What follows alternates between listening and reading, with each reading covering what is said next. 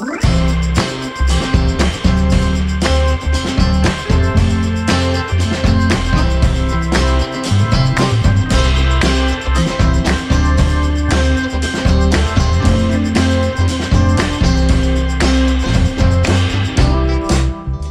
ми вас запросили діти з нагоди такої чергової нашої програми, яку ми започаткували ще в жовтні 2022 року. Проект наш бібліотечний під назвою Бібліоланч в колі однодумців.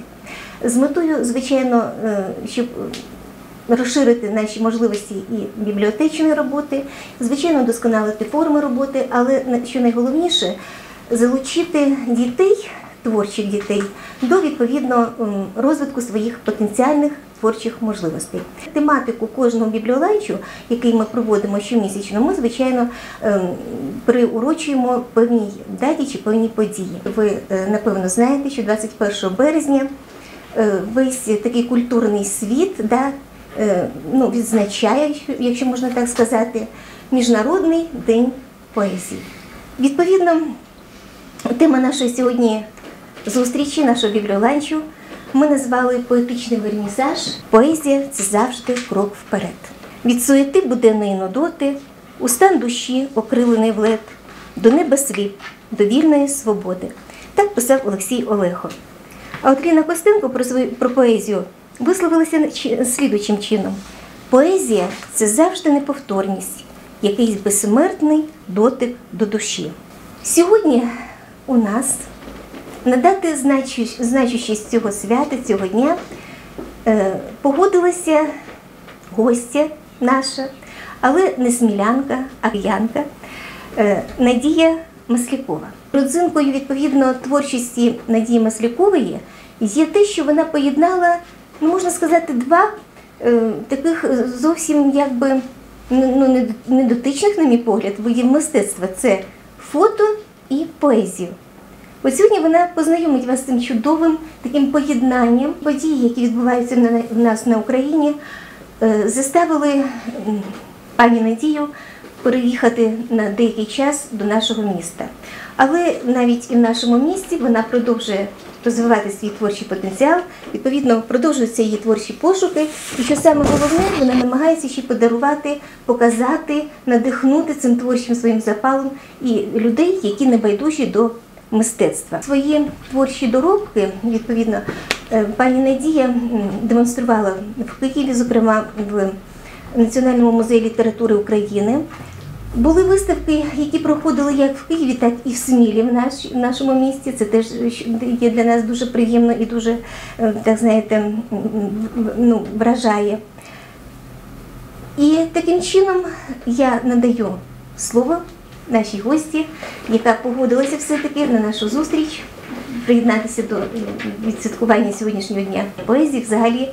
Ну і е, відповідно головна наша мета, щоб донести до вас, діти, щось цікаве, щось таке, що можливо торкнеться вашого серця, вашої душі. Для мене поезія це, е, це те, що є в кожному кроці. І якщо ми вміємо помічати якісь нюанси, то е, вони можуть звучати поезією в нашому серці. Щодо поєднання фотографії поезії, всі фотографії, які ви побачите, це також мої фотографії.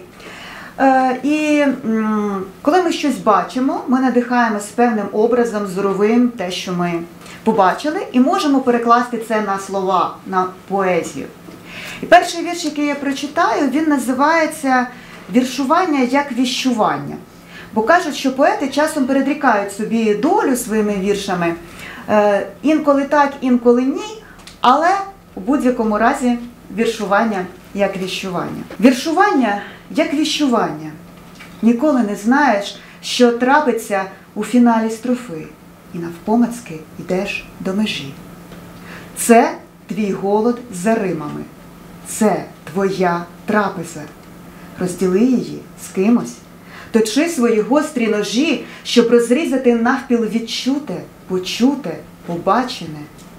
Половину собі, половину на вітер для тих, хто ще може впіймати й вібрати у себе, одначе не лишай його там, де багато сліпих та глухих. Віршування як музика. Ритм то пульсує, то губиться, заворожує звуком і пришвидшено йде далі в світ, і його зустрічає вулиця. Відкриває портал у пусте неосяжне ніде. Все зникає в тумані, без сліз і без слів до побачення. Може, раптом насниться, як спомин, торкнувшись, ледь-ледь. Віршування, як все, що для тебе ще має значення. Отже, просто впусти його в себе і випусти геть. Я почала писати вірші ще в шкільному віці, в 7 років. І е, з такого непоетичного моменту я була на кухні і слухала радіопередачу, де зачитували вірші моєї однолітки, тобто теж семирічної дівчинки. І так мені, знаєте, заздрісно стало. І так я подумала, ну чим я гірша, що я просто сіла і написала перший вірш. Він називався Сонце. Сонце любе, сонце миле, як тебе я полюбила. Сонце встало, світло стало, сонце сіло, ніч настало. Ну от з цього почався такий шлях в сім років, і м, потім він вже е, змінив емоцію із заздрощів на, на інші, е, в тому числі і на кохання. Любов. Незрима, неповторна, безтілесна, вона вливає в кожного життя, довівши все на світі до пуття чи до безпуття, силою воскресне. Оспівана, прославлена, проклята. Вона стискає щастя у руці та дозволяє праві знов щоці отримать ляпас братові за брата. Жагуча, ніжна, жвава й непомітна, вона керує тихо так, здаля. Проте без неї не живе земля. Вона любов, що нам дарує світло. Насправді я фотографую не постановочні фотографії, тобто все, що ви бачите, це життя, яке воно є, без прикрас, без якоїсь моєї особливої обробки. Це теж Київ, це Михайлівський собор. І ось ці свічки, ось ці лампади, які ви бачите, їх ставлять на день вшанування жертв голодоморів. Я вирішила обрати цю ілюстрацію для наступного вірша, який не мій вірш, а який вірш Володимира Свідзінського. Володимир Свідзінський це е, поет, представник розстрільного відродження. Мій батько е, в свій час дуже цікавився історією свого роду і е, записував на диктофон мою бабусю, мого дідуся. Тоді, коли я була у вашому віці, я спілкувалася з ними, і вони багато розповідали про війну. Ну, хто ж знав, що ще й мені доведеться війну переживати. Тобто це були по, по батькові мої родичі, а я зацікавилася ще родичами по матері. Саме тоді, коли е, я почала глибше копати і питати вже в своїх е, дальніх родичів, я дізналася, що я родичка Володимира Свідзінського. Тобто у нас е, ось ось такі відкриття можна зробити е, абсолютно про це не здогадуючись все життя і раптом раптом. І я хочу прочитати вірш Володимира Свідзінського, повертаючись до цієї фотографії, чому тут вогонь. Дуже трагічна доля в нього була. Його спалили заживо представники НКВС. А коли він писав свої вірші, в нього був ось е, віршування як віщування, був такий пророчий вірш, який називався В полум'ї був з первовіку. Його я зараз з вами прочитаю. В полум'ї був з первовіку, і в полум'я знову вернуся. І як те вугілля в горні в бурхливім горінні зникає, так розімчать, розметають сонячні вихори в пасма блискучі спалене тіло моє. І там, невідущий, невісний, міріадом бездумних частинок, зустрінуся знову з тобою, колись, як і я, живою. Мірядом бездумних частинок з розсипалим пилом пилинки земної. І не повість нам, не скаже ніщо, як у часі незглибнім, у світі заниклім. Два листки на єдиному дереві. Ми спахнули колись і з чарованим зором уздріли цвіт огневий над собою і розцвіли в його світлі ласкавім. І невольники волі його так безумно, так трепетно поривалися серцем до серця. Не повість нам, не скаже ніщо. Якось так складається, що на нашій землі кожен період він е, такий історичний період. Чи подобається нам брати в цьому участь чи ні. І в Києві я брала участь у помаранчевій революції і в Революції Гідності у 2014 році. І це фото звідти, е, це коли вже був спалений дом, е, будинок профсоюзів. Це фото з вулиці Інститутської. І е, що е, помаранчева революція, що революція гідності, вони були е, в передноворічний, післяноворічний час.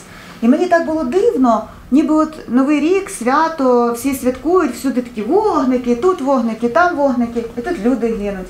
І тут відбуваються такі події.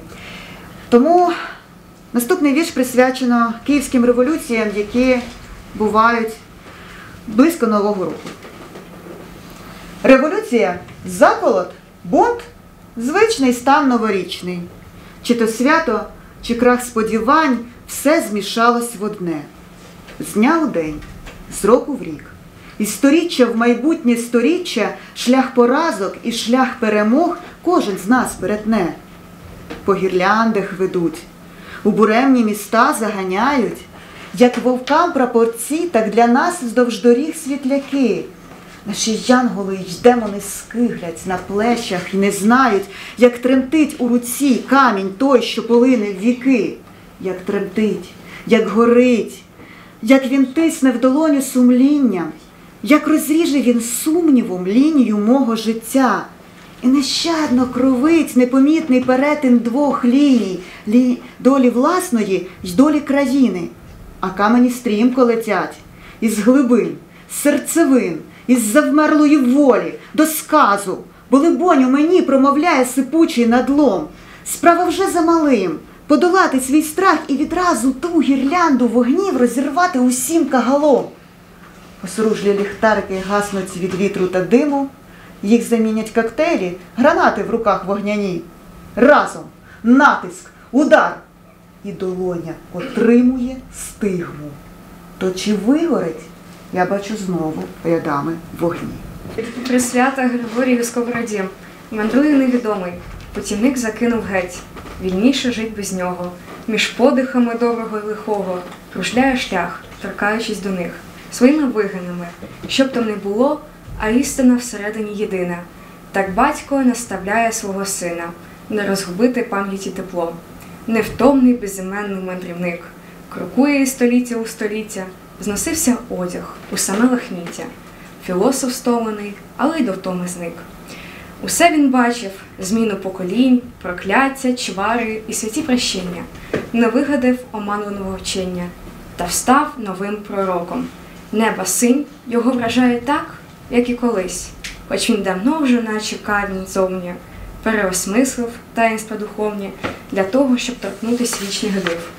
У вишиванки секретів нема. На полотно доматка не лягає посередині, чи ніжно так з краю.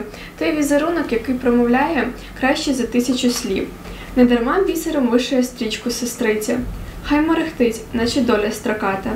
Вишита гладдю сорочка у брата, він звик стежини прямі обирати, тож і стівкам треба рівно стелитись. Той, хто у всьому вбачає плюси, хрестиком вишиє власну сорочку. Хтось ненав'язливо, тихо, мов хоче щось приховати, її оторочить знизу мережкою. А щодо того, як ви прочитали мої вірші, то в школі в старших класах е, якось до мене підійшов староста наш і сказав: Надя, я тебе одне прошу, пиши короткі вірші. Я кажу, Денисе, чому? Ну як же дітям потім в школі їх читати? Так що я сподіваюся, що мої були не дуже довгі. Скільки у вас уходить часу, щоб написати вірш? А, Ой, дуже по-різному. Коли я в школі писала вірші, я просто сідала і писала. І от е, поки я його не допишу, я не встану. А, і це там було, я не знаю, там від п'яти хвилин до півгодини. А вже в дорослому віці м, буває так, що я починаю писати, потім відкладаю, потім повертаюсь до цих нарисів навіть там за місяць якийсь. тому там складно сказати. Я хочу, звичайно, від вашого імені, від нашого імені, звичайно, подякувати за таку нашу змістовну зустріч. Ваш виступ сьогоднішній, мені так здалося, воно так, знаєте, надало їм натхнення. І вони почули сьогодні дійсно живу, ем, по-справжньому живу поезію.